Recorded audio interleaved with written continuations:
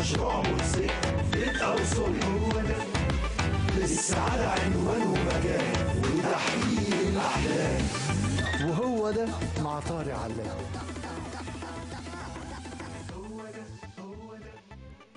السلام عليكم ورحمة الله وبركاته. أهلا بيكم حلقة جديدة لقاء جديد مع برنامج هو ده وللسعادة عنوانه مكان نتواصل بس مباشر على صفحتي طارق علام تي في وأيضا هو ده من خلال آه، صفحة المحور.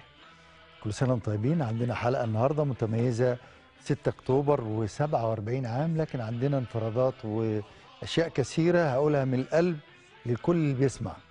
لكن زي ما تعودنا بقول كلمة دينية. سيدنا علي بن أبي طالب رضي الله عنه كان بيقول الزهد في الدنيا ثلاثة أحرف زاء وهاء ودال الزاء ترك الزينة الهاء ترك الهوى والدال ترك الدنيا. يعني نسيب الثلاث حاجات دول الزينة والهوى والدنيا وأكلمكم من قلبي لمصلحة الوطن لله ولكل الناس الصبرة الناس الطيبة الناس اللي أقدرها وتقدر معنى الكلمة. والكلمة نور وكلمتنا نور. هبدأ معاكم بتهنئة لكل أبطال النصر وأبنائهم وأحفادهم. أبطال أكتوبر المجيد. النهاردة هقول بعض المعلومات كتبتها امبارح من قلبي وأنا براجع بعض البيانات. واستفزني بعض الحاجات من الجانب الآخر هنقولها. لكن نبدأ بأغنية وطنية أقول لأبطال مصر للأبطال العرب لأبطالنا البواسل وأبنائهم وأحفادهم. أبطال مصر من جيشنا الوطني العظيم جيش مصر. كل سنة وأنتم طيبين مع برنامج هو ده. نبدأ معكم كلامنا وتحية من القلب لقادة أكتوبر تتكلم من هزيمة صعبة من نكسة 67 حتى النصر.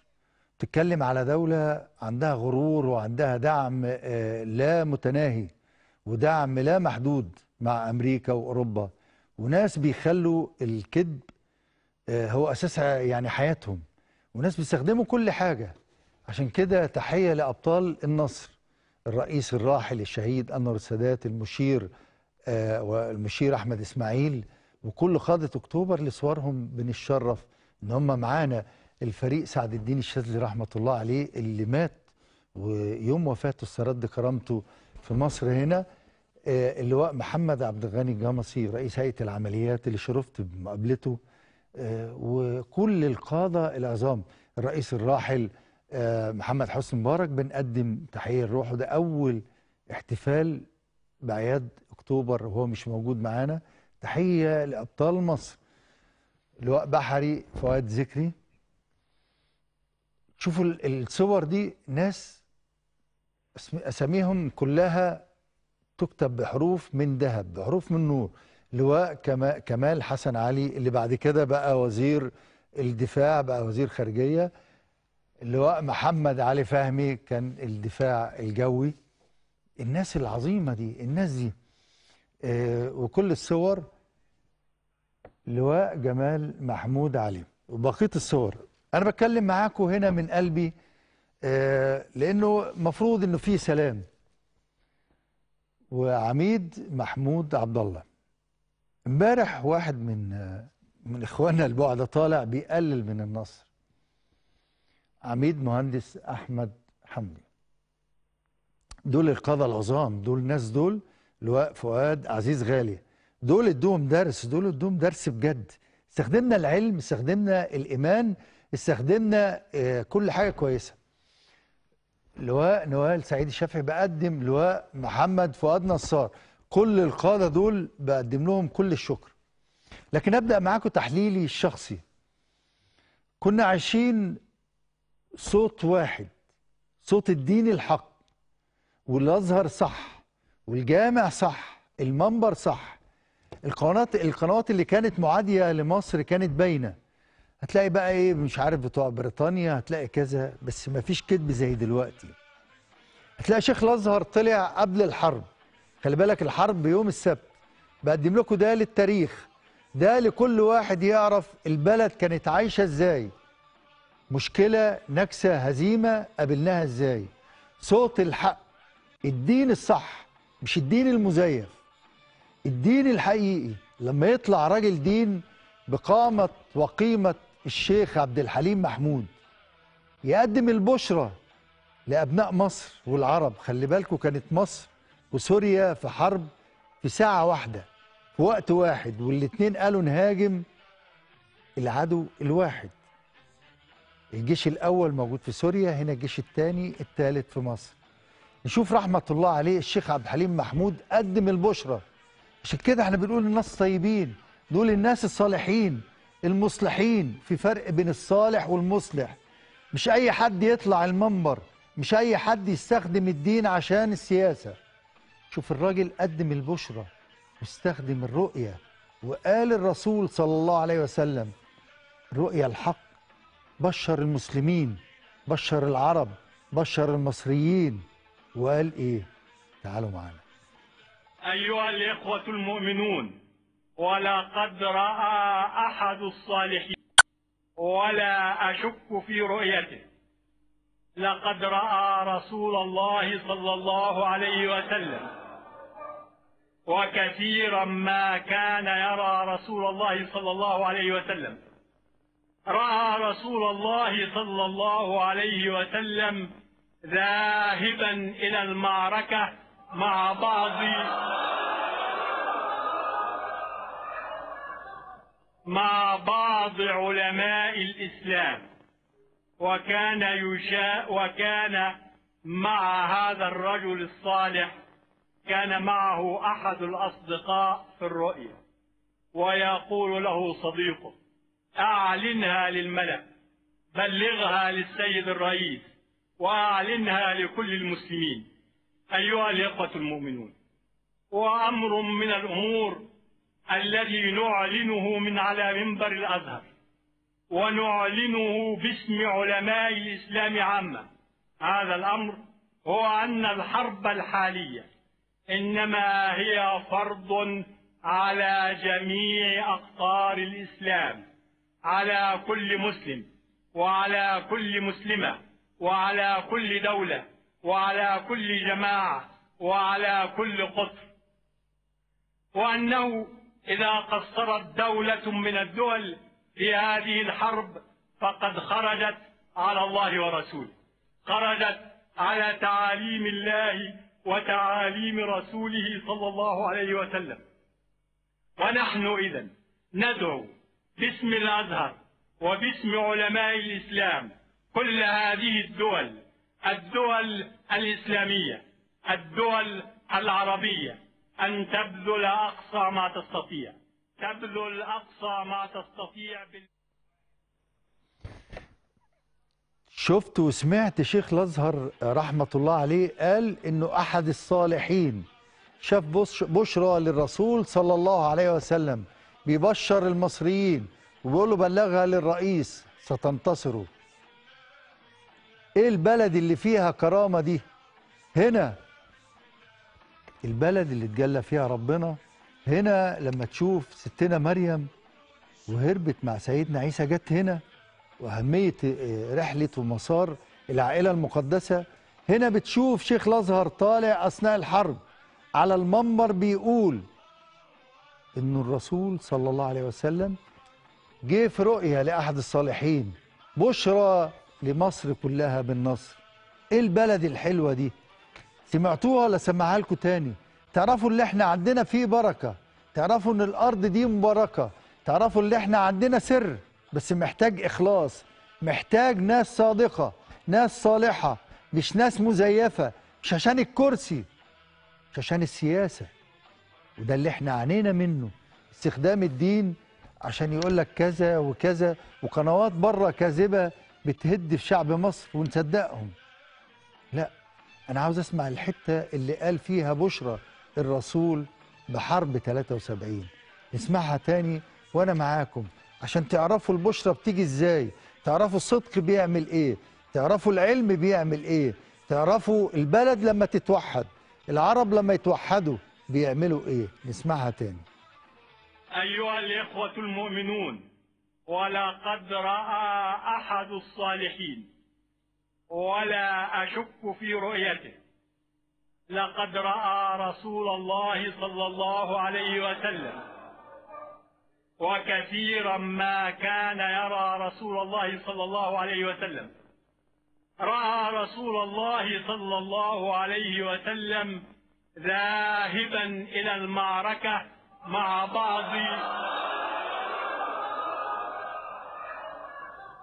مع بعض علماء الإسلام. أنا جسمي بيقشعر وأنا بسمع الكلام ده. لما تشوف راجل صادق زي شيخ الأزهر الشيخ عبد الحليم محمود على منبر الأزهر بيقول إنه أحد الصالحين ولا يشك فيه. خلي بالكم الناس دول صادقين. الناس دول أصحاب كلمة. الناس دول أولياء الله اللي موجودين هنا. عشان كده كلمتنا دايما تقول للناس الطيبة خلي بالكم من الطيبين خلي بالكم من الغلابة. خلي بالكم من أهل مصر. اللي قال البيت جم هنا. إيه البركة؟ إيه الجمال اللي موجود في مصر؟ إيه الجمال اللي موجود مع النصر؟ عشان كده هسيب حرب أكتوبر بعد 47 سنة وأشوف بعض الحاجات. أول حاجة لما تعرف إن هم بالخريطة قالوا هيقطعوا المية على مصر النيل ده هينشف. جالنا أكبر فيضان من 100 سنة. مش دي بركة من عند ربنا؟ مش دي رسالة؟ اللي إحنا نتحد حتى الأعداء يتكسفوا على دمهم حتى اللي بيتكلم على تركيا عملت إيه في حرب 73 في الحرب دي إيران أيام الشاه شاه كانت ال- البترول رايح على أوروبا جابته على مصر. عشان كده خلصوا عليه. فبقول لكم المية في الأرض المباركة ربنا نصرنا السنة دي وهينصرنا.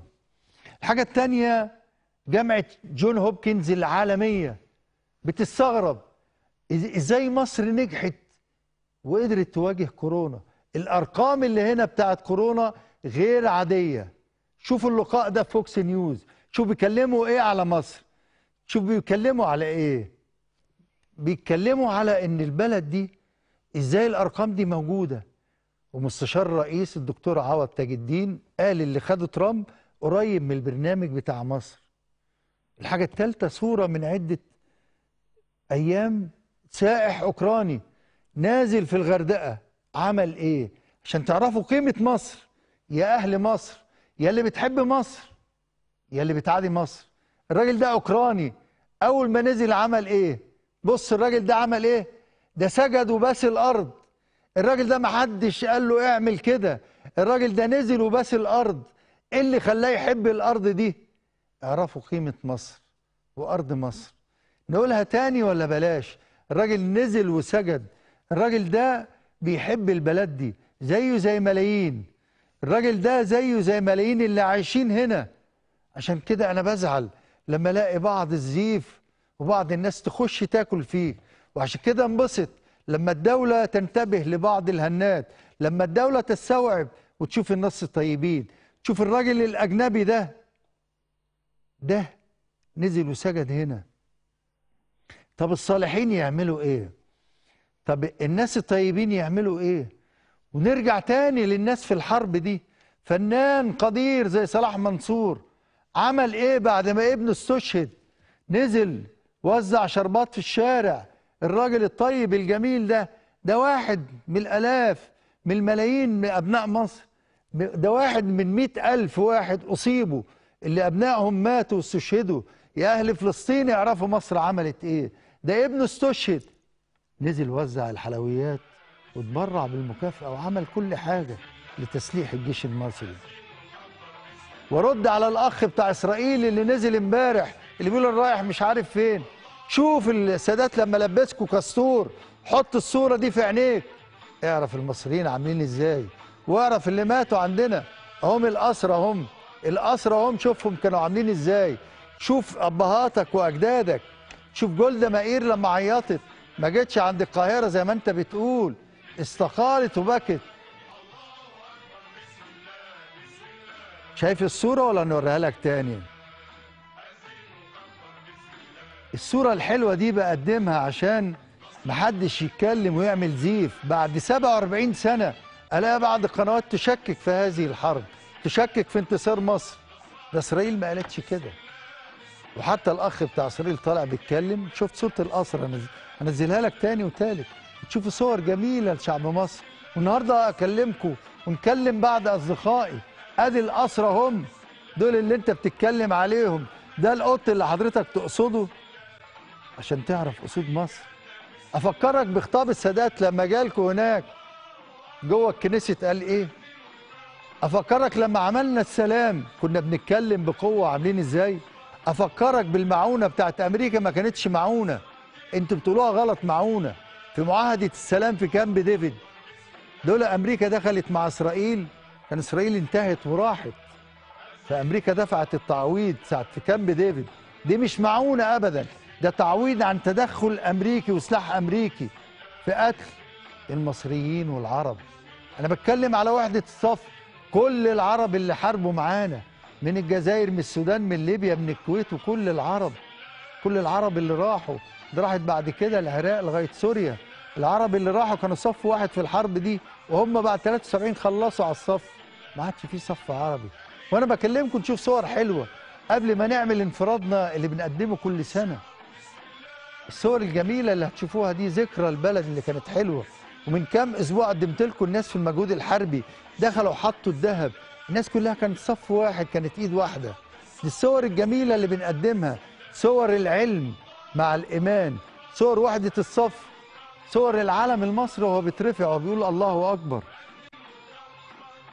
حرب أكتوبر بعد 47 سنة.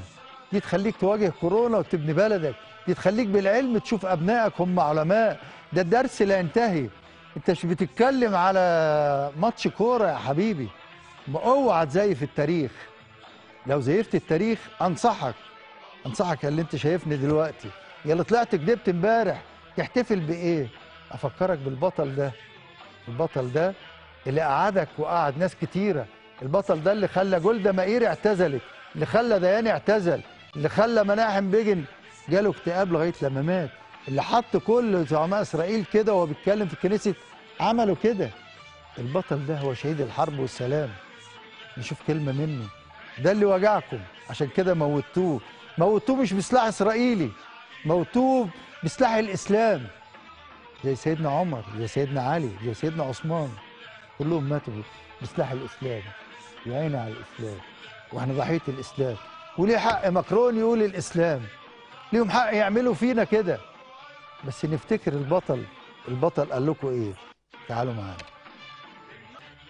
التمويل جاي من بره. بس بإيد مسلمين للأسف. إحنا في محنة. للأسف عاوزين مش عاوزين حد يفكر. إحنا بنتكلم بعد أكتوبر. كل اللي قلته ده خلي بالكم ما عندناش حل غير العلم. ما عندناش حل غير وحدة الصف. سيبك من الكذب. سيبك من ادعاء الدين الكاذب. شفت الراجل الصادق اللي قال نبوءة ورؤية الرسول صلى الله عليه وسلم. شوف دلوقتي بعض الكلام بيتقال عامل إزاي في المظاهرات والكلام الفارغ. فلازم تبني نفسك صح مدارس صح علم صح أبنائك واقفين صامدين بالعلم. إيه اللي يهدنا؟ إيه اللي يغيرنا؟ ولا يضحك عليك بماتش كورة ولا فيلم ولا حاجة إلا إذا كانت حاجة تقويك. ده أنت فيلم الممر السنة اللي فاتت اللي عمله ما حصلش في كل ماتشات الكورة. فيلم واحد عمل انتصار كبير. والاختيار عمل كده ومحتاجين كده. وللأسف بعد 47 سنة مفيش فيلم واحد عن أكتوبر نقول عليه فيلم عالمي. ليه كده؟ نتمنى نشوف ده. في في أظن الممر اتنين هيتكلم. نفسي أشوف إبراهيم الرفاعي هنشوفه. وحاجات كتيرة بتعملها شؤون معنوية. إحنا في مرحلة جديدة من الوعي وأبناء مصر. وأوعى حد يضحك عليكوا زي الأخ بتاع امبارح اللي كتب رسالة. اترد عليك جامد ونرد عليك. أبناء مصر ادوكوا العلقة في ست ساعات ولو عاوزينها تاني نعملها. عشان كده جيش مصر مضايقهم جيش مصر مجننهم. عشان كده في احتفال أكتوبر خد ثقتك خد علمك. وقف صح اقف صح مع بلدك مع أبنائك. كلنا مفيش حد يتعالى على حد مفيش موظف صغير ولا كبير يتعالى على المواطن. عشان كده الدولة لما تعمل دعم لكبار السن تعظيم سلام. الدولة لما تعمل دعم للأبناء غير القادرين في المدارس تعظيم سلام وهنقوله وهتشوفوه. وعشان كده بعد 47 سنة ليا أصدقاء هنكلمهم على التليفون. أنا من 20 25 سنة أروح مستشفى المعادي. شباب زي الفل. 20 سنة 21 سنة. أربعة أو خمسة طلعوا أول خبطة أول طلعة طيران اللي استشهد واللي جاله شلل. دول أبطال من دهب دول أصحابي دول أساتذتنا دول اللي مات منهم في المستشفى دول اللي قعدوا في مستشفى المعادي. إحنا بنكمل معاهم المشوار. دول أعز ناس عندي. نشوف رفع العالم دوت ونعمل مداخلة نعملها مع بطل. في عز شبابه قاعد في المستشفى من حرب أكتوبر لغاية دلوقتي. وكان انفراد لينا من سنوات وكل سنة أعمل لهم تعظيم سلام. دي لحظة رفع العلم. دول أبناء مصر. دول أبناء مصر بيرفعوا العلم محمد أفندي رحمة الله عليه وكل أبنائنا وكل أجدادنا تعظيم سلام ليهم. دي الصورة الحلوة الصادقة. وكل جندي مصري تعظيم سلام ليه. كل ضابط مصري تحية ليه. وكل فرد عربي اشترك معانا. قال كلمة حق في الحرب دي واستمر معانا. ده وحدة الصف. ده معركة البترول. الملك فيصل والشيخ زايد. ده الدول كلها لما توحدت غير اللي إحنا بنشوفه. دي اللحظة الجميلة في تاريخنا. أو حد يشوهها. النهاردة لحظة صدق. النهاردة دول الأبطال دول أبطال بجد. بنحيي الرياضة والفن وكل حاجة. بس دول اللي بجد. دول اللي كتبوا التاريخ. محدش محدش يقدر يزيفه. اللي بعت رسالة امبارح بتحتفل. لا أنت مش تحتفل أنت تعيط على اللي ماتوا. شوف كام ألف اللي ماتوا عندنا. أنت استلمتهم إزاي؟ وقعدت تعيط عشان تاخدهم إزاي؟ رجعوا لك إزاي بالبيجامات الكاستور بتوع المحلة. لو مش فاكر أفكرك تاني وتالت ما تتكلمش تاني فيها. يا اللي انت شايفني شايفني؟ نكلمك تاني. هنعمل اتصال دلوقتي مع أحد أبطالنا. نتكلم. أنا قابلت ناس كتيرة الطيب والغلبان والمسكين لكن مش زي الأبطال دول. تخيل يا وطني يا مصري يا ابن بلدي لما يبقى عندك 20 21 سنة تطلع أول طلعة تاني طلعة وتصاب ويجي لك شلل. وانت عندك 20 سنة وتقعد 47 سنة في المستشفى أنت وزمايلك. ده صديقي ده ابن مصر ده البطل حسن عبد الحميد. يا فندم إزاي حضرتك؟ مش عارف أقول لك إيه والله بعد الكلام الجميل أجمل هدية لنا في ال... يعني بعد طبعا أجمل هدية الكلمتين دول أنا بص أنتوا. أغلى أنتوا كنتوا أغلى ناس في حياتي. والله يا طارق ما انساش أول يوم أما جيت جيت لي في المعادي هنا من الكلام ده من أكتر من 40 سنة. وقعدنا مع بعض في الفرندا وانت كل مرة بترفع معنوياتنا بتمدنا كده بسنة زيادة في العمر والله. أنا يعني بص الكلمات راحت مني. ده صديقي الغالي ده طيار. عنده 20 سنة. طلع في طلعة طيران جاله شلل كامل. الرئيس السادات أمر أنه يتم هو وزمايله يقعدوا في المستشفى حتى اللحظة. ده مقيم في مستشفى المعادي. سيادة اللي هو حط صورته حط الفيديو. ده البطل ابن مصر. أنا بقدم لك تحية وباقة ورد. أنا عاوز عاوز الحلقة دي تدرس لكل طلبه الجامعة وكل الحلقة بتاعتك دي. ملخص لتاريخ مصر والله أقسم بالله. يعني نفسي الحلقة دي فعلا كلمتين ما حدش ما سمعتهمش من مصري لا من من تاريخ الحرب. ربنا يكرمك يا طارق باشا ربنا يكرمك يا رب. ده يا فندم انت انت حضرتك بتكتبوا قصص ولا ولا الأحلام. يا جماعة. مجموعة من أبناء القوات الجوية طلعوا طلعات جالهم شلل. مقيمين في مستشفى المعادي اللي توفاه الله توفاه وكلهم يعني أنا عاوز أستاذن حضرتك نقول كل الأسماء لأنه في ناس توفاها الله بقدم لهم كل تحية. سيد محمد رضا كان زميلي وأنت ك... والحلقة اللي عملناها الشلل الرباعي كان مش مش شلل نصفي يعني أنا ووجدي هنا شلل نصفي هو مدرعات دفعة ال- اللي هو فنجري وأنا وأنا أنا دفاع جوي صواريخ آه ال ال ال هنقول ال- الشهيد محمد رضا توفاه الله من من كام سنة حضرتك؟ من 15 سنة من 15 سنة حبيبي رحمة الله آه عليه الله كان يحبك جدا جدا جدا ده حبيبي والله. الغالي أنا أروح يا مستشفى. المعادي أقعد مع الأبطال تحس إن أنا عشان أنا كو- كورونا كنت بتجيلنا والله بس ظروف ال- ال- الوباء كانت نفسنا إن شاء الله لو ربنا يمد في عمرك وتجيلنا بإذن الله هاجي لحضرتك والله وحشنا جدا جدا جدا. و و وحضرتك في برضو مع حضرتك ال ال البطل السيد وجدي متولي. آه. البطل سيد وجدي أنا هحاول أكلمه برضو دلوقتي ليه كل تحية. اتصبنا يوم 17 في نفس اليوم. في حضرتك- حضرتك كنت دفاع جوي. أنا كنت من القواعد الصواريخ اللي كانت جنب الثورة.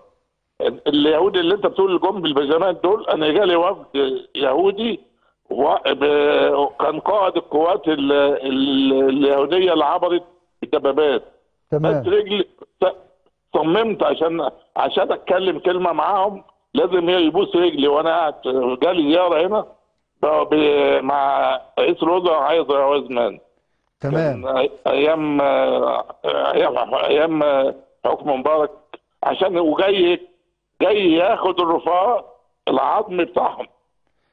ده بعد كام بعد كام يوم من الحرب حضرتك؟ يا فندم بعد كام يوم من بدء الحرب؟ جم سنة 1995 شوف شو دي 95 95 22 سنة من الحرب.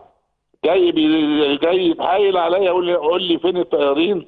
اللي دفنتهم فين؟ اللي انت وقعتهم في في الحرب. واخد بالك؟ قلت له روح اسأل ال- الرجالة بتوع اللي كانوا اللي وقعوهم. خدت بالك؟ يعني لأن إحنا في قواعد الصواريخ بنبقوا تحت الأرض 10 متر. والله طريق أكثر من خمس سنين تحت الأرض في دوشه محصنة ما بنشوفش عشان وكل كاتبين كده وما رميت إذ رميت ولكن الله رمى.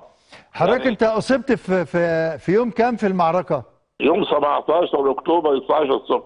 يعني حضرتك مصاب بقالك 47 سنة مقيم في مستشفى المعادي.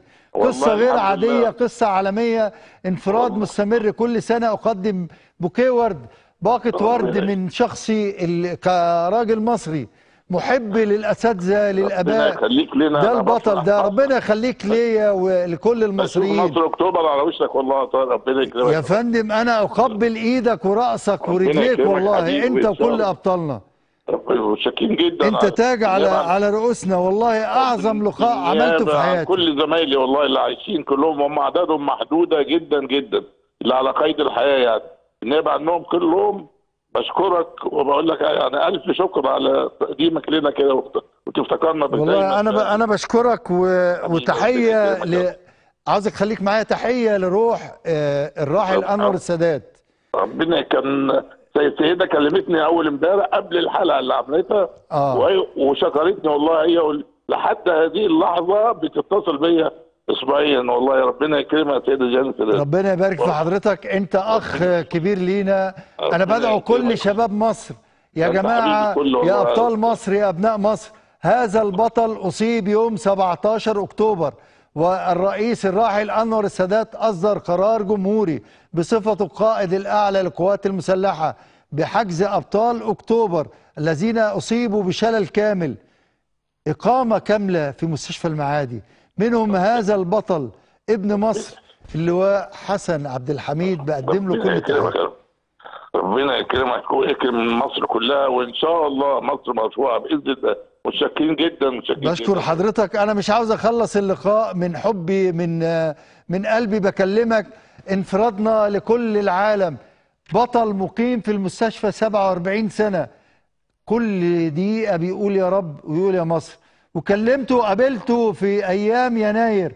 يقول أنا خايف على مصر. وقابلته بعديها يقول لي خايف على مصر. هو دلوقتي مطمن على مصر. سيادة اللواء حسن عبد الحميد شكرا ليك.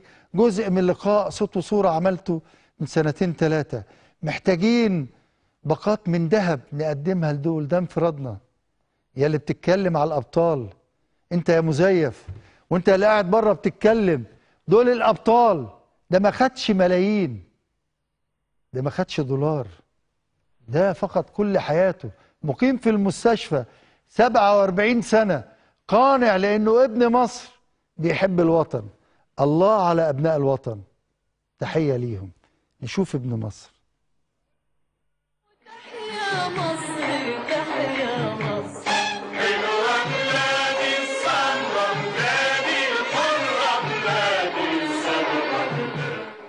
عامل إيه؟ وحشتني وحشتني وحشتني. الورد بس. ده أجمل هدية ربنا يكرمك كده.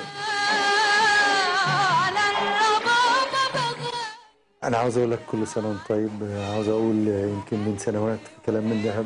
مش عاوز أقول السنة مش عاوز ممكن 20 سنة. لا ما اشتغلتش أنا 20 سنة. كان نقللهم شوية من خمس سنين.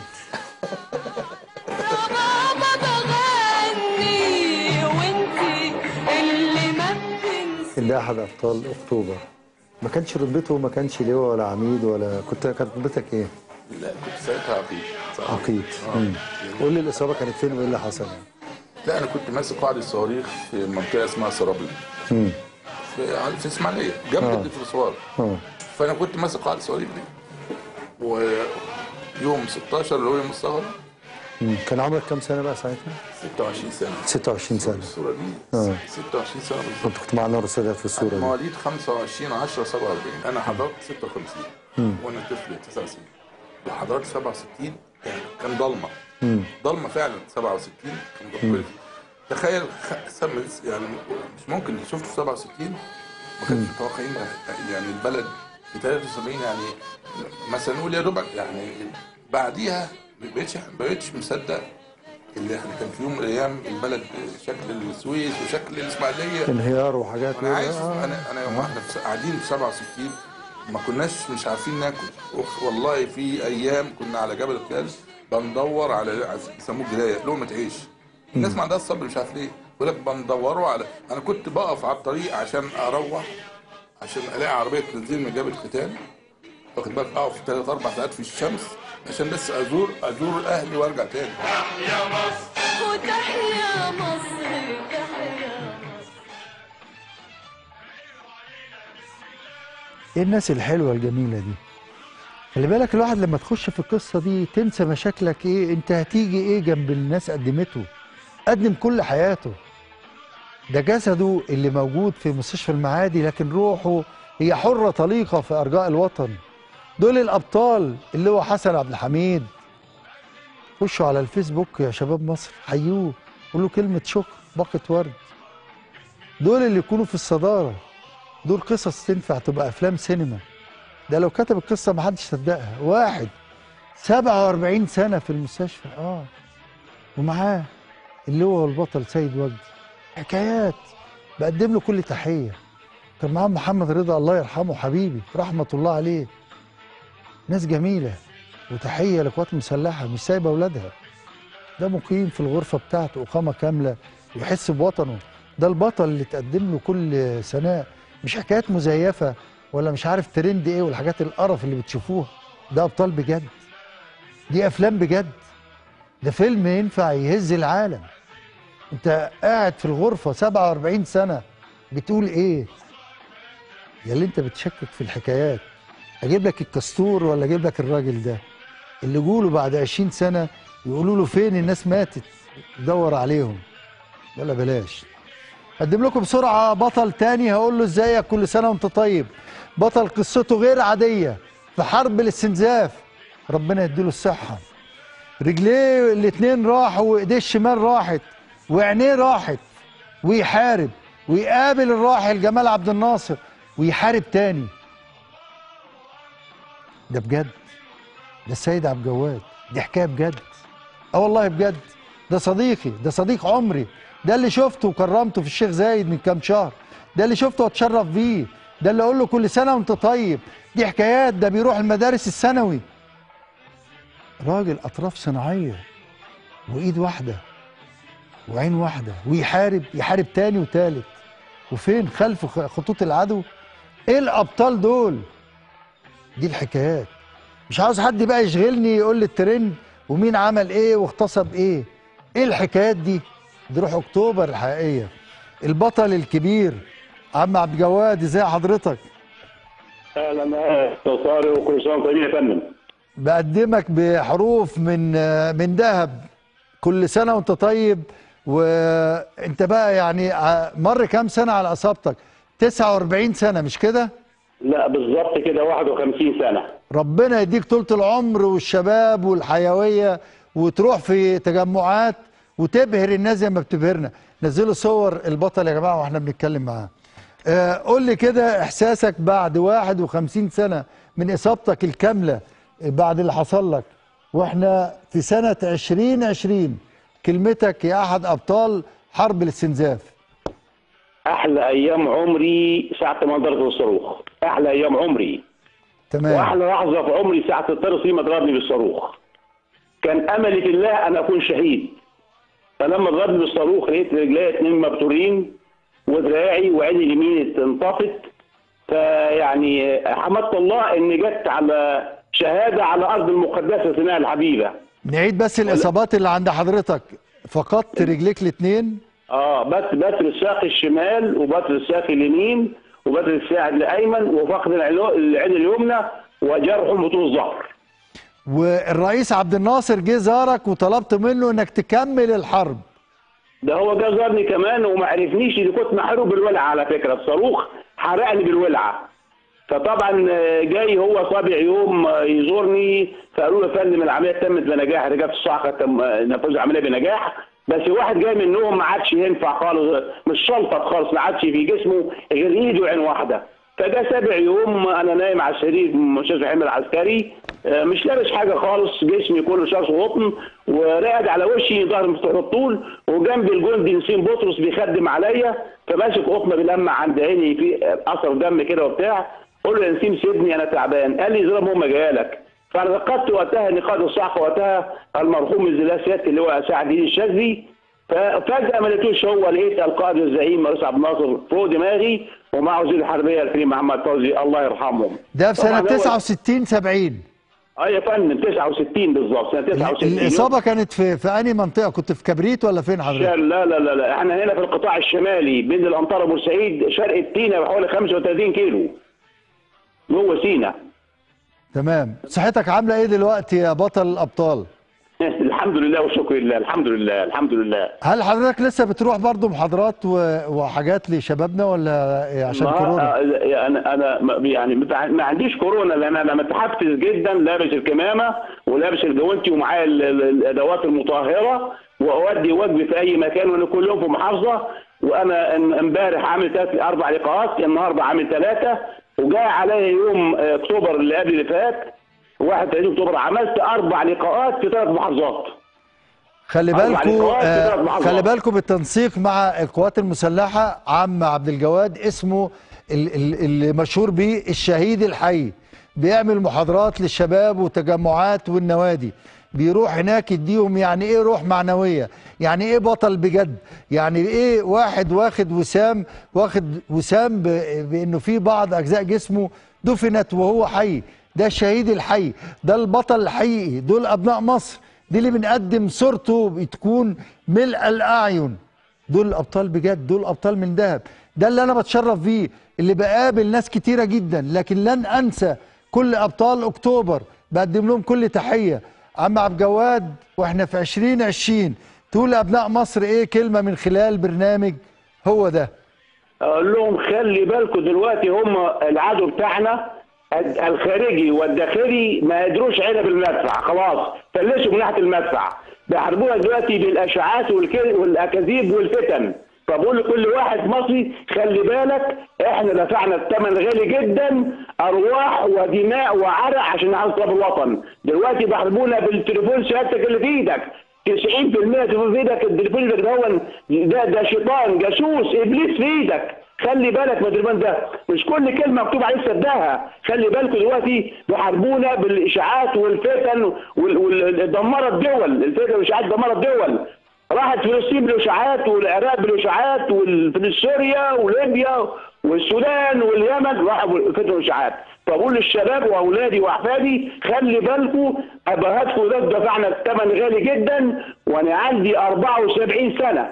مصاب بنسبه عجز كل من 100 أنا جاهز الآن قسم الله العظيم أنا أستشهد الآن دفاع عن مصر. هذه اللحظة.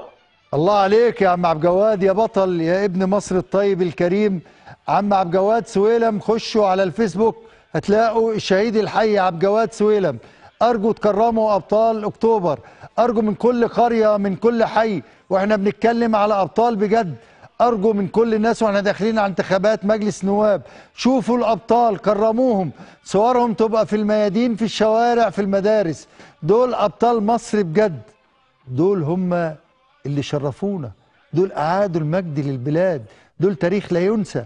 ده يرجعك تتكلم على السلام على إنك تبني وأنت فاتح صدرك. ده اللي فقد ايده ورجله فقد عينه. عشان إحنا دلوقتي نصيف ونضحك نروح شمال سينا جنوب سينا دول دفعوا الثمن واللي استشهد. روحوا معانا بتقول خلي بالكم بلدكم. عم عبد الجواد بشكرك وعشتني جدا وكل سنة وانت طيب. إيه الناس دي؟ إيه الناس دي؟ جزء من لقاء عم عبد الجواد أنا قابلتهم أتشرف آه يعني شرف ليا. ده وسام. ده على وسام أخده ليا إن أنا أشتغل في برامج الناس دي مقابلتهم ما أقدرش أنساهم. الناس دي لازم تشوفهم تبوس على دماغه وتبوس إيده. مش كده؟ تعال نشوف.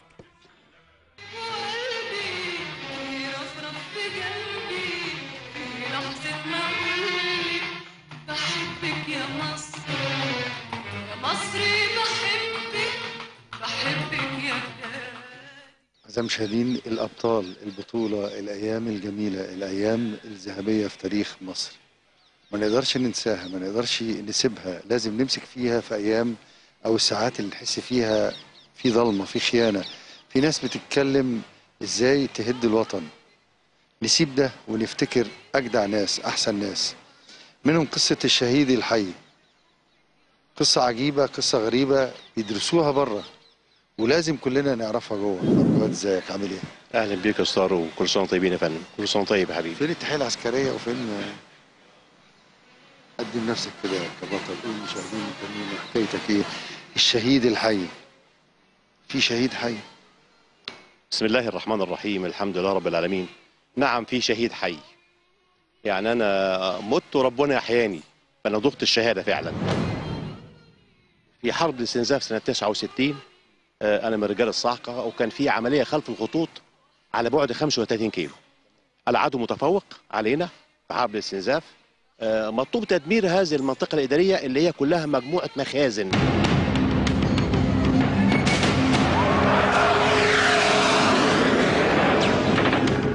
اصطادني طيار لوحدي.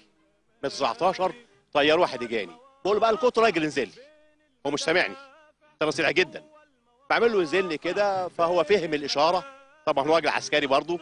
آه، فهم الإشارة إن أنا بستهزأ بيه راح ضربني بصاروخ.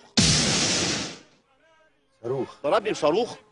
ليكرمني الله سبحانه وتعالى في أعز وأغلى مكان. سيناء الحبيبة بخمس أوسمة ونشيد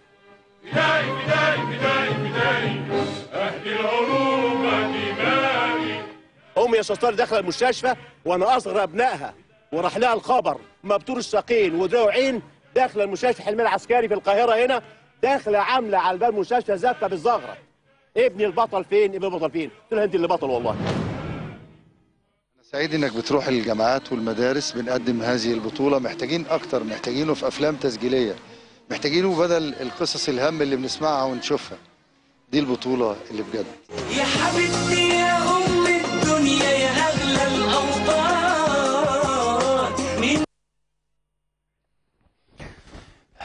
عاوز اتكلم ساعات وساعات في الأبطال عاوز اتكلم على الحكايات عاوز اتكلم على الأبطال بجد عاوز اتكلم على إزاي وصل بينا الحال نشوف فزاءات ونشوف حاجات ومش عارف ترند إيه والتيك توك عليه إيه وقصص إيه واغتصابات إيه فين زمن ال- الملائكة والبطولات فين الزمن الحلو ده فين ده؟ عشان كده ارجع في بداية الحوار لما سمعنا كلمة الشيخ الفاضل الراحل من أولياء الله الشيخ عبد الحليم محمود شيخ الأزهر لما بلغوا أحد الصالحين الرؤية بتاعت الرسول بشرى بالنصر عاوزينها عايزينها تبقى معانا في كل خطوة. عشان كده راعوا الطيبين والغلابة عشان كده دعموا التعليم. في الحلقة اللي فاتت اتكلمت على دعم التعليم. اتكلمت لازم نعمل مبادرة. ندعم إزاي المدارس؟ إزاي يا جماعة نقول مصاريف اهي والمدرسة دي وفي ناس محتاجة محدش يقعد يتاجر بيها محدش يعمل بيها مش عارف إيه. أجيب لكم جزء من الحلقة اللي فاتت أنا قلت إيه؟ جاهز معانا يا جماعة؟ طيب لو عندكم الأخبار بتاع التعليم عندنا الجزء جاهز؟ أنا لما بتكلم على التعليم عارف لما بتكلم على ناس صادقين عارف لما بتكلم على الصالحين عارف. عشان كده بحيي الدولة ألف شكر. كل الأخبار الإيجابية إن وزارة التعليم عملت في مجموعة أخبار. هتدعم مليون هتدعم 2 مليون 10 مليون طالب اعفائهم مصروفات. التفاصيل خشوا زي ما حضرتك بتقول المصاريف مش عارف غالية ولا مش عارف إيه. ده موضوع مهم. وعشان كده أنا سعيد اللي إحنا بنقول كلمة الكلمة لأن الكلمة نور. شوف أنا قلت إيه في الحلقة اللي فاتت وأكمل معاكم. بخلي كل مرشح يشوف له 100 طالب والكلام يبقى مع المدرسة أو الوحدة التضامن الاجتماعي. مش عاوزين اتصال مباشر ولا حد ينزل الكشوف تنزل على النت أرجوكم. بلاش إحراج ولا تضايقوا أولادنا. مبادرتنا النهارده اللي بنطلقها مع التصالح للأكثر فقرا برضو الطلبة أولادنا. في كل حي في كل شارع حضرتك يا مرشح اللي هتصرف فلوس. اصرفها صح وإحنا معاك. أرجوكم. ده كلام مهم. أرجوكم. ده كلام في يعني ده في المقدمة. ده كلام في الأهمية لازم يطلع. وكل واحد يشوف شغله. التضامن الاجتماعي المد- المديريات يبقى ليها دور كبير الفترة اللي جاية. كلموا الوحدات في الأحياء في القرى. قول لي ابعت لي حالات الطلبة. ابعت لي حالات التصالح. حتى لو مئة ألف. مشروع تحيا مصر والصندوق الكبير قادر إنه يقف مع شعب مصر العظيم. هنا القرار وهنا تنفيذه وهنا الثغرات وهنا الليحة ده اللي قلت الحلقة اللي فاتت وأنا واثق في بلدي. أنا بقول تحيا مصر بقولها من قلبي وعارف وعارف المسؤولين بيفكروا إزاي بيشتغلوا إزاي. عشان كده كنت سعيد لما زعنا الحلقة اللي فاتت يوم الأربع وقلت المبادرة دي. وقلت إزاي نعملها. ولقيت يوم السبت ويوم الحد الأخبار الحلوة طالعة. وزير التعليم ودعم مليون اتنين مليون إعفاء عشرة مليون. وليه الخبر ده ما انتشرش؟ ليه كل ما اتكلمش عليها؟ ليه اللي قالوا المصاريف 300 كتير؟ ليه ما اتكلموش على دول؟ وانت يا ولي الأمر خش على الصفحة. ابنك يخش يشوف. نزلوا لنا الخبر اللي نزل. الأخبار دي بتختفي ليه؟ ما تبرزوها وقدموها. تحية لمصر وتحيا مصر. لما أشوف الخبر ده دعم التعليم دعم غير القادرين. أهو إعفاء 10 ملايين طالب من المصروفات المدرسية. تحيا مصر. وأخبار كتيرة. ما ده دورنا اللي إحنا نقول الكلمة. وتتعمل إزاي؟ والإعفاء إزاي؟ أهو. ودي مفاجآت وحاجات أخبار كتيرة إيجابية. وزيرة التضامن نفس الحكاية. واحد المرشحين المرشح محمد أبو العينين تكفل بكام طالب في المنطقة بتاعته. واللي قلته وبنقوله يا جماعة نساعد بعض. هو ليه إحنا ما نقفش مع بعض صح؟ أدي وزيرة التضامن أهو. خبر تاني. مئة ألف شنطة مدرسية مجانا للطلاب. ألفين لابتوب. أخبار كتيرة إيجابية. ده اللي إحنا عايزينه دعموا التعليم دعموا ولادنا. عاوزين نعمل نواجه الحرب النفسية. انت ليه حضرتك متضايق ومكتئب؟ هو الخبر ده حقيقي ولا لا؟ ما تتأكد منه. عندك مشكلة روح اشتكي روح قدم وإحنا معاك. هي دي حاجات أونطة دي حاجات بجد. ولما وزير النقل قال إعفاء فوق السبعين من إنك تركب المترو أو القطر وفوق الستين خمسين في المية. كلها أخبار إيجابية. دي تبنيك تقويك. إحنا عاوزين الفترة اللي جاية ن- نحنن على بعض نحضن بعض نستوعب بعض. وزمايلنا في الإعلام إحنا هنا بنتكلم على الجريمة بس بقدر أرجوكم أرجوكم نبني بعض. ابنوا المدارس الراجل اللي داخل ومش عارف هيعمل إيه ما إحنا بنقول له أهو التضامن واقفة معاك التعليم واقف معاك. حضرتك شوف إزاي شوف التفاصيل وإحنا معاك. أنا بحيي بلدي وحيي كل واحد يساعد ويعمل. ما أنا قلت لكم. أهو. ده خبر تاني أهو. ده الخبر ده بتاع إيه؟ ده أبو المرشح محمد أبو العنين تبرع برقم في منطقة الجيزة والعجوزة. طب ما إحنا عاوزين كل المرشحين يعملوا كده. ما إحنا زي ما قلنا زي من شهر طالبتوا الحمد لله مستقبل وطني استجاب. عاوزين نخش برضو مع الدولة على المدارس. أرجوكم دعموا مصر. أرجوكم نستوعب مصر. خبر أخير بقدمه في الفقرة إنه لأول مرة آه، بيتم السداد والمديونات بتاعت مصر بتقل. خبر شفته من الأخبار الإيجابية اللي موجودة عندنا. الفقرة الأولى نفسي ما تخلصش. وأنا وأنا بتكلم على بلدي بتكلم أهو انخفاض الدين الخارجي لأول مرة من أكتر من أربع سنوات. خلي بالكوا برامجنا وبرامجي هي مع الناس. من قلب الناس بكلمكم وبتشوفوا واتكلمنا. والحلقة اللي فاتت ولا اللي قبليها اتكلمت على الكحول. وقلنا إزاي ندعم الناس في المصالحات. الحلقة اللي فاتت تعليم. الحلقة دي بنقول كلنا نحتضن بعض. وبنتكلم على الأيام القادمة. أنت بتتكلم في نهاية الشهر ده على المولد النبوي الشريف. عاوزين مصر تنور. نوروها وبشروا الناس بالحب. بشروهم بالسعادة بالأمل بكرة هيبقى أحسن. الجزء اللي جاي فيه حاجات حلوة. هنعيش معاكم. لو أي حاجة تابعوني البث المباشر على صفحتي طارق علام تي في واخد بعض الشكوات والشكاوى على الهوا وأقول لكم بعض الأخبار عندنا.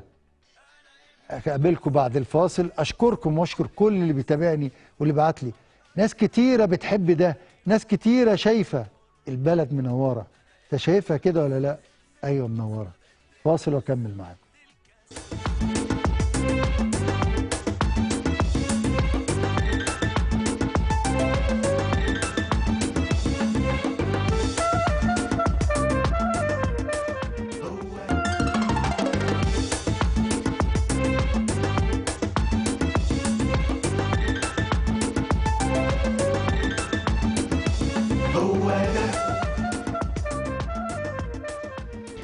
رجعنا معاكم مرة تانية والبث المباشر شغال آه، طارق علام تي في. لو عندك مشكلة ابعت لي على الخاص برقم التليفون واتواصل معاكم.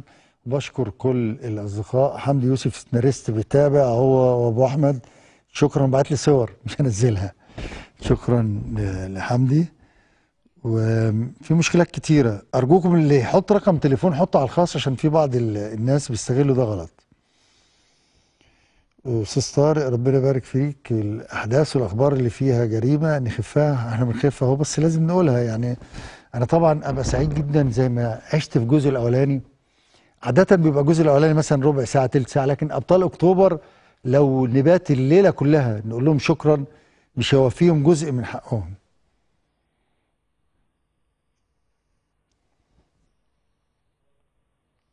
آه في بعض المعلومات. في ناس مقدمة على العمرة لسه ما فتحناش الباب هنشوف. طارق جرح السنين منفصلة معايا وبدون شغل. أرجوكم المشاكل حطوها على الخاص. في تعليق على دعم إيران قبل حرب أكتوبر كانت أكبر آه، في حرب أكتوبر من أوروبا. هذا غير صحيح. لا صحيح إنه في كانت إيران في عهد الشاه كانت حليف مع أمريكا ومع أوروبا ولكن في حرب آه، 73 كانت مودية بترول هناك وديته على مصر. وقبليها طبعا الموقف اللي لازم كلنا نشيد بيه آه، الملك فيصل رحمة الله عليه والشيخ زايد إن هم قالوا البترول سلاح زيه زي مش أغلى من الدم العربي وخلوا آه، أوروبا وأمريكا يعيشوا أيام صعبة. الصعب فيها إيه؟ اللي أنت بتتكلم على وحدة الصف على حرب اقتصادية بقى إحنا كلنا مع بعض. ونرجو إنه هذه الأحلام هذه الأيام الحلوة الجميلة تتكرر ونشوف العرب متجمعين وهنشوفهم إن شاء الله. بكمل معاكم آه، الحلقة اللي فاتت اتكلمت على شاب أو طفل في بورسعيد توفاه الله عشان بيلعب اللعبة بتاعت بابجي دي. القرار الثاني الثاني جات له أزمة آه، قلبية الأولاني ده لكن الثاني من الشرقية. هنقدم صورته وجزء كده من القصة كان أعتقد في اليوم السابع. وبننبه كل أم وكل أب يا جماعة الموبايلات جننت الولاد يا جماعة في وقت للموضوع. تاني البنت بنتنا في المحلة بعد وفاة والدها ب 40 يوم توفت حزنا عليه. ما هو الحياة حق والموت حق. القمر دي رحمة الله عليها بنتنا في المحلة توفاها الله. لازم نقول للناس نفهمهم الحياة يا جماعة مش مستاهلة كل ده. البنت بتحب أبوها قوي أبوها توفاه الله بالمحلة هي اسمها إيه ال- الفتاة؟ رحمة الله عليها. نقدم لها خالص العزاء لأسرتها.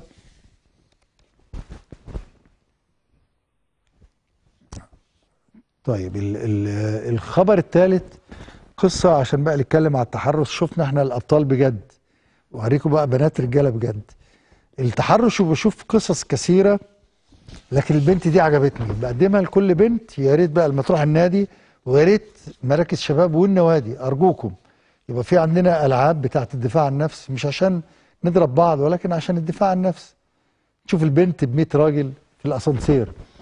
ركبت الأسانسير وواحد دمه خفيف زي الصورة دي أهو دمه خفيف أهو اديت له بالقلم أهو حاول يحط إيده على ظهرها لساعته الأولانية. بص الثانية بقى كده حضرتك اللي هتفكر تك راح فيها أهو.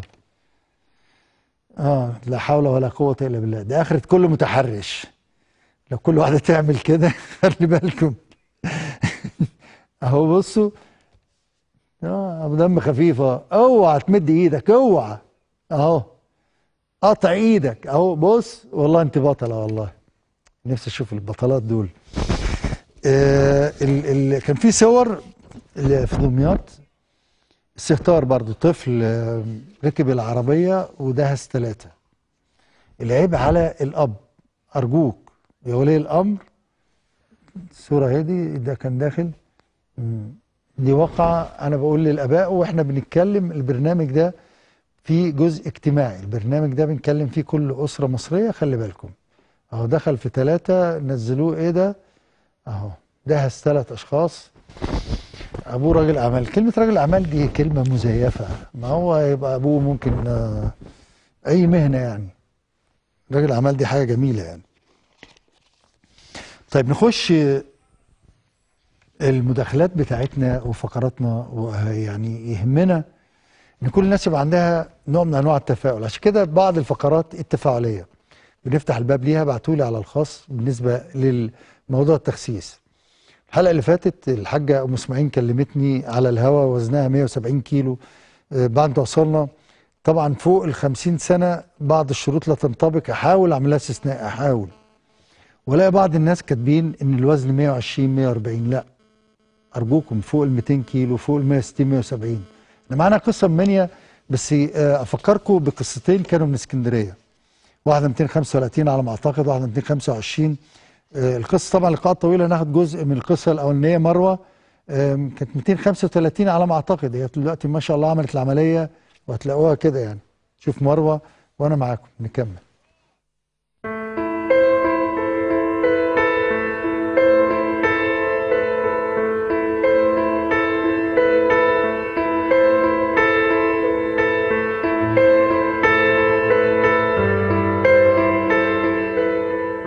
كمل معاكم الفرحة. الفرحة مش لازم تتمسك بالإيد تتحس بالجسم. الجسم هو المشكلة. نتكلم على السمنة المشكلة اللي نقول عليها مشكلة صعبة لأنه زي ما بقول العمليات بقت صعبة قوي وغالية ومحتاجة آه، وبطالب. إن وزارة الصحة تساعد مروة مروة من اسكندرية 260 كيلو. يا ست مروة عاملة إيه؟ الحمد لله. أخبارك إيه؟ الحمد لله. قادرة تقفي ولا تعبانة؟ لا تعبانه مفيش تنامي أنت قولي لي المعاناة بتاعتك. ما بقدرش أخد نفسي وأنا نايمة. ما بقدرش أتحرك. ما بقدرش أخدم بيتي ولا جوزي. معاناتك دي مستمرة بقالها كام سنة؟ يعني انت جسمك كده بقى يعني كده بقالي حوالي سبع سنين أو ست سنين. ست. مفيش تجيبي طلبات الخضار الحاجات دي؟ ما أقدرش. في المواصلات عملتي انت تعبت بهدلت بهدلت والناس ما بتقدرش تاخدنا طب بقى مواصلات عامة يعني مثلا قطر حاجات كده. بنسمعوا تريقة ياما كلام مش حلو ياما قوي ده مش مرض تجميلي ولكن ده مرض أساسي يتعالج. دي دعوة لينا من البرنامج. لو أنتوا تقدر تتحكم في أكلك في شربك تقدر تمشي تقدر تجري اعمل ده. الحالات الصعبة اللي زي دي لازم يبقى ليها جراحة ولازم دعم من الدولة. هو ده نكمل معاكم مشوار الفرحة. كلنا نفرح ونفرح بعض. يا رب الفرحة تكون في كل بيت مصري. أكمل معاكم.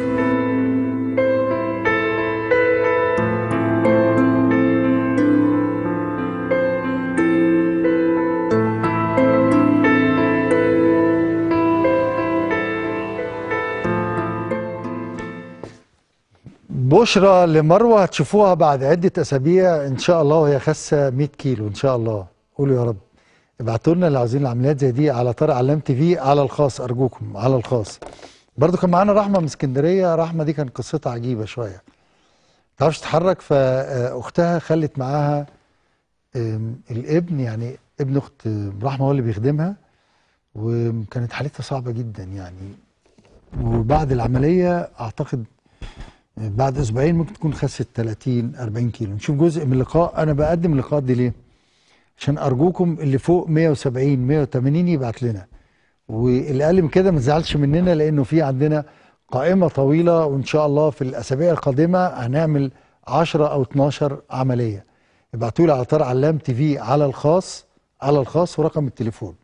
نشوف رحمة من اسكندرية وتحية ليها لأختها وابن أختها. تعالوا معنا.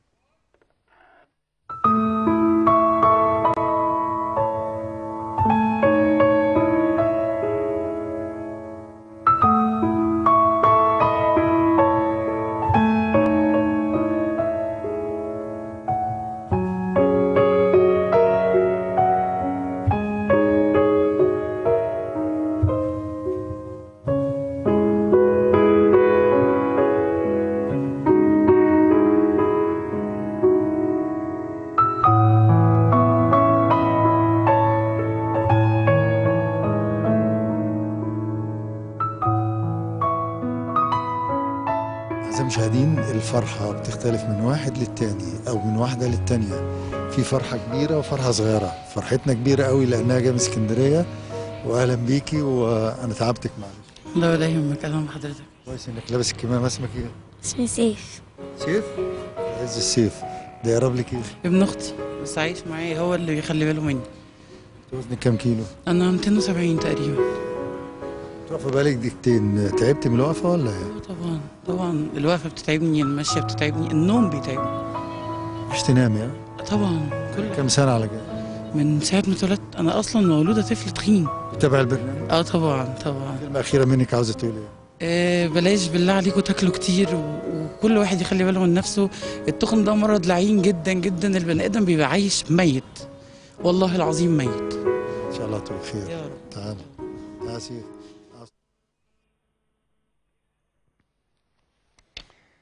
بحيي رحمة وابن ابن أختها اللي معاها البطل سيف دوت ورحمة إن شاء الله. ثلاث أسابيع هنوريكم الصورة هتبقى 100 كيلو إن شاء الله. يا رب يا رب.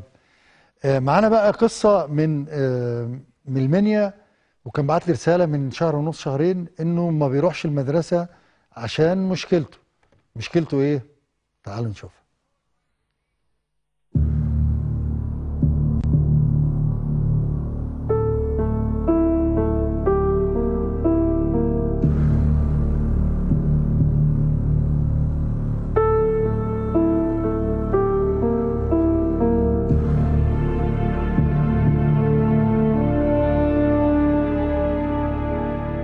السلام عليكم ورحمة الله وبركاته. أنا محمد جلال من المنيا. أنا عندي 17 سنة. أنا ما بقدرش أطلع من البيت ورجليا تعبتني ونفسي بيضايقني. أنا بعت للأستاذ طارق علام. لما لقيته بينزل آه، حلقات للسمنة المفرطة رحت أنا بعت له على الصفحة. راح الأستاذ طارق رد عليا و بعد كده استمر معايا ووصلت للأستاذ طارق. أنا 210 كيلو ورجليا تعبتني ونفسي اخس والناس بتتريق عليا في الشارع.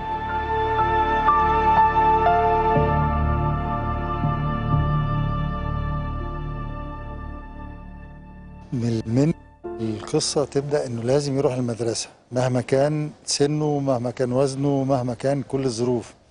بقالك قد إيه ما رحتش المدرسة أنت يا محمد؟ ادري ثلاث سنين ليه يا محمد؟ من وزني لا الوزن إزيك ست عاملة إيه؟ ليس على مكياس استورك زي حضرتك إيه ظروفه إيه؟ آه، ظروفه عنده السمنة المفرطة ومش قادر يروح المدرسة فكان بيعيد السنة بس ربنا كرمه بولاد الحلال اللي وقفوا معاه و... أنا متعمد واقف معايا وكويس أهو مش بيقدر يمشي يا أستاذ طارق رجلي وجعاه والله أوكي، أنا قاعدك أجيب لك كرسي؟ لا لا هو بيقف لكن في المشي في المشي رجلي بوجعني يعني هو عاوز يخس عشان يكمل دراسة ويعيش حياته يعني. وزنك كام كيلو دلوقتي؟ 210 210 ده كويس يعني مش كتير. نفسك تبقى كام كيلو بقى؟ 17 سنة يا أنا- أستاذ طارق. هو في سنة كام؟ هو المفروض الوقت في- في ثالثه ثانوي لكن هو الوقت رايح الاعدادي وربنا يكرم الأستاذ محمد أبو العينين والأستاذ مجدي زناتي والأستاذ بدر محمد هم اللي ساعدوه في إنه يرجع المدرسة وجنب البيت إمتى بقى الكلام ده؟ السنة اللي فاتت ما أنا جبت فيديو ليه قال أنا ما رحتش المدرسة مش قادر أمشي الكلام ده من شهرين مش كده؟ أيوة. صح؟ عشان كده جبناك هنا إيه طب عملت تحاليل ولا لسه ولا إيه؟ لا لسه ما عملتش حاجة هنعمل لك تحاليل إن شاء الله تحليل وأنا نفسي يعمل العملية بإذن الله علشان يبقى زي أخواته بإذن الله يا أستاذ طارق. أنا بشكر ال- الأساتذة اللي أنت قلت عليهم وكل مسؤول في التعليم اوعوا تقطعوا حبل الحلم إنه محمد واللي زيه لازم يكمل تعليمه مهما كان سنه. أنت كام سنة؟ 17 ويتيم محمد. أبوه متوفى دول 8 سنين. تخش سنة كام بقى السنة دي؟ أنا اول إعدادي. طب كويس. تنجح كده وتتظبط قبل الدراسة نخسسك إن شاء الله. نفسك تبقى كام كيلو؟ أنا 60 نفسك تبقى كام؟ 60 كيلو. 60 كيلو؟ نفسه. من 210 ل 60 فرق كام؟ فرق 150 كيلو. ده واحد تاني. المهم أنا بشكر مصر الخير من الحالات اللي أقول عليها. لما صورنا آه، محمد بعت لنا فيديو من حوالي شهرين كان قاعد وقال مش قادر أروح الامتحان مش قادر أروح المدرسة. هو في الشهر ده يعني خس شوية يعني. يعني. مش عارف. تبطل تتعشى قد إيه أنت ولا إيه؟ أنا بتمشي كتير. تاكل كام رغيف في اليوم؟ أنا باكل 11 11 رغيف؟ إيه وزن. بياكل يا أستاذ. طارق وحلة محشي كل يوم؟ أيوه بياكل.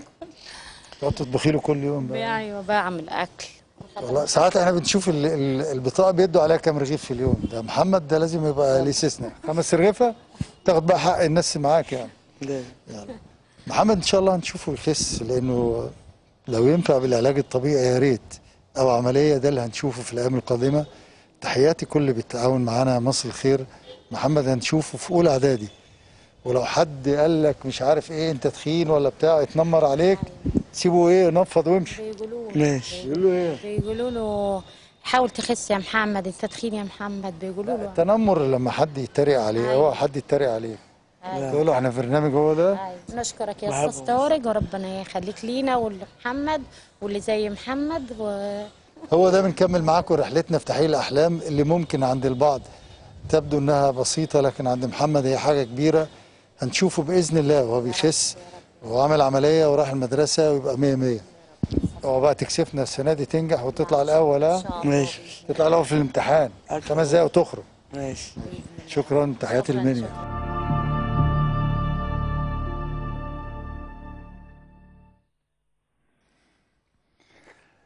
أحلى حاجة محمد إنه عاوز يكمل تعليم عشان كده تحمسنا معاه. أرجوكم لو حد عنده مشكلة في التعليم دي المبادرة بتاعتنا النهارده. لازم نكمل التعليم ونروح المدرسة. ايا كانت المشكلة ابعتوا لنا على الخاص وإحنا نتواصل مع المسؤولين ونقدمها. محمد كانت مشكلته في موضوع السمنة هنحاول نعالجه إن شاء الله. بالإضافة موضوع القيد معرفش حلها ولا لأ ده نتابعه في الحلقات القادمة. وأكمل معاكم في بعض ال- الحاجات اللي كانت مكتوبة على الصفحة بس أرجوكم في حاجات كده على الخاص يعني. آه، بس عجبني في آه، حد بيقول نحن كبار السن. يا ريت نقدم نداء لوزير الداخلية بمد مهلة الملصق الملصق الإلكتروني شهر كمان وحدات المرور زحمة. يا ريت يتم مد المهلة كمان شهر. بنضم صوتنا لصوتكم. ده واحد. في ناس عاملة عشان العمرة لسه ما فتحناش الباب لما نتأكد. موضوع المخبز في ناس كانت واخدة موافقة مخبز وعملوا قرض وحصل مشكلة في الرخصة. هنحاول نتواصل مع المسؤولين. تحية حب واعتزاز من أم وليد لأبطال أكتوبر. شكرا يا أم وليد. لو س... لو سمحت بلاش تقرأ اسمي. حاضر. كانت مقدمة رحلة عمرة. آه عبد الله صبرا بيقول حلقة فعلا مميزة يا أستاذ طارق. شكرا ليك. الناس على فكرة متفاعلة مع أبطال أكتوبر والنماذج اللي إحنا قدمناها. في مئات في آلاف. خلي بالكم الأبطال اللي على قيد الحياة كثيرون. بس إحنا إزاي نوصل لهم؟ في شارعك في واحد في مدينتك في القرية. كرموهم حط صورهم. صور الشهداء على مر السنين. هتبقى حاجة حلوة. فاصل سريع ونعيش مع فقرتنا الأخيرة مع برنامج هو ده.